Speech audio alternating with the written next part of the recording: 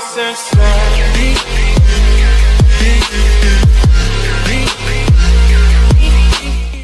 El Instituto Nacional de la Transparencia, Acceso a la Información y Protección de Datos Personales sí ordenó la publicidad de la información referente al caso Odebrecht, antes de que Andrés Manuel López Obrador ganara la presidencia de la República el 1 de julio del 2018. Desde el 23 de marzo de 2017, el INAI ordenó en dos ocasiones la publicidad de los contratos celebrados entre Pemex Transformación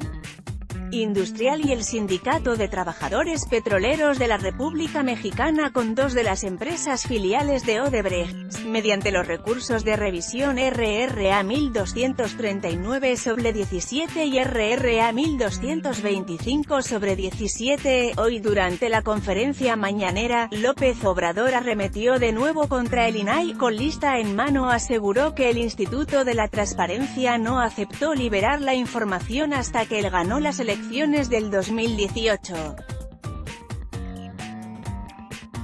Finanzas Pemex y CFE son poco transparentes. México evalúa, solo aclarar que en efecto, la Oficina de Transparencia, el Instituto de Transparencia negó la apertura del caso de Odebrecht en mucho tiempo.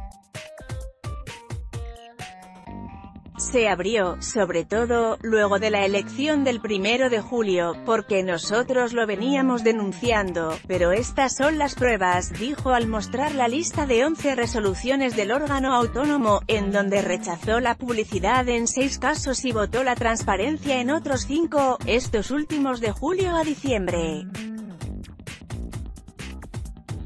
Aunque pareciera que el INAI va de gane en los dimes y diretes con López Obrador, también es cierto que hasta antes de que el tabasqueño asumiera el poder ejecutivo federal, el INAI no había permitido la apertura de información en donde estuvieran involucrados altos funcionarios públicos ni el mismo Marcelo Bahía Odebrecht, dueño de la transnacional brasileña.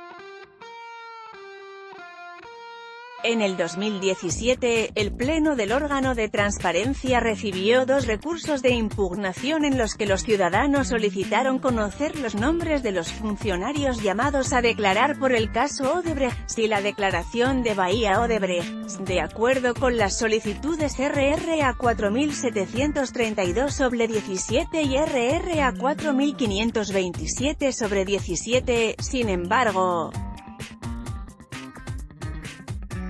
En ambos casos el INAI falló a favor de la Procuraduría General de la República, quien argumentó el ocultamiento de la información, para no violar el debido proceso en el proceso de investigación en el que se ha señalado como supuesto cómplice al exdirector de Petróleos Mexicanos, Emilio Lozoya.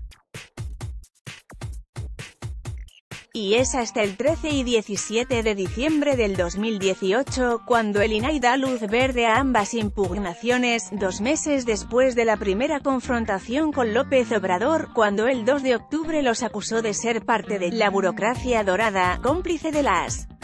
Empresas corruptas, cuando se fundó ese instituto decidieron que iban a mantener en secreto todo lo que se le condonó de impuestos a los grandes contribuyentes y, hace poco, ese mismo Instituto de la Transparencia, resolvió mantener el secreto el caso Odebrecht, fustigó el entonces presidente electo. Horas después de las críticas, el INAI envió un comunicado en el que compartía un exhorto al encargado de despacho de la PGR, Arturo Elías Beltrán, para que hiciera de dominio público los expedientes, debido a que se trataba de un tema de interés público. No obstante, solo uno de los cuatro exhortos del INAI a la PGR correspondían a la administración del expresidente Enrique Peña Nieto, pues a partir del 1 de diciembre, Alejandro GERTZ Manero asumió la dirección de la hoy Fiscalía General de la República, quien el 29 de enero interpuso un amparo ante la Suprema Corte de Justicia de la Nación, para blindar las reservas de información en el caso Odebrecht. política habrá reconstrucción de caso Odebrecht. Santiago Nieto Política INAI niega haber ocultado información sobre Odebrecht.